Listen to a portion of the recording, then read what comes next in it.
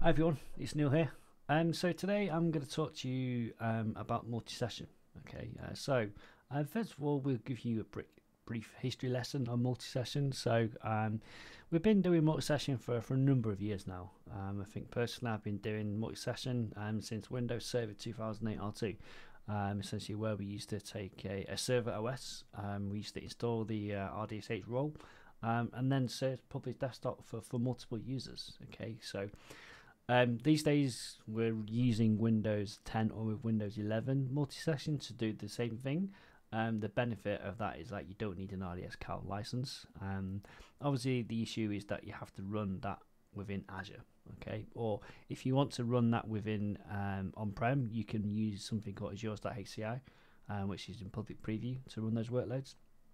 And the reason why we do multi-session is to really bring down the cost um, and the number of users that we can fit onto the platform as well, right? So um, imagine if I'm provisioning, uh, I don't know, 100 hosts, then I need to, uh, if I had a single session desktop for each one of those hosts, then I'd have like 100 users.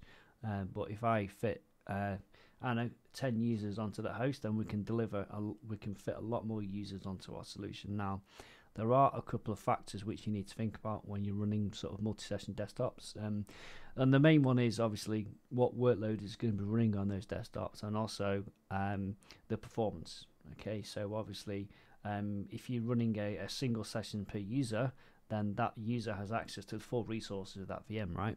Um, but if I'm running a, a multi-session desktop, then I'm sharing that desktop with other users. Okay, so if I'm doing something on that VM, that could potentially impact um, all the other users on that platform as well. So what you run on that workload and the spec of the VM that you run on that workload is really really important okay so we need to make sure our sizing is correct and we need to make sure the specs are correct and we need to make sure that the applications are correct um, and there's also other things as well that we need to think about is like how we patch those VMs. We probably use image-based management. We need to think about our antivirus, and we need to about security and firewalls and all that stuff. So it, it can get pretty complicated.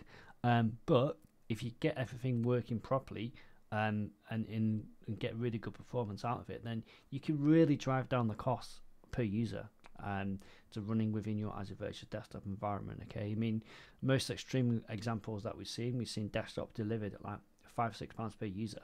Okay, which is insanely cheap. Like think about the cost of delivering a laptop or something, and that's why when people ask you like, why do you why do you use VDI over a physical desktop? Well, if done properly, I can deliver a VDI desktop a lot cheaper than I can do, and then deliver a, a physical laptop device. Okay, so um, just something to think about there. So the ne next time you're sizing up, you're sizing up a AVD environment, um, just really think about the uh, the multi-session, think about performance, think about the cost, think about the applications, um, but most importantly, test it.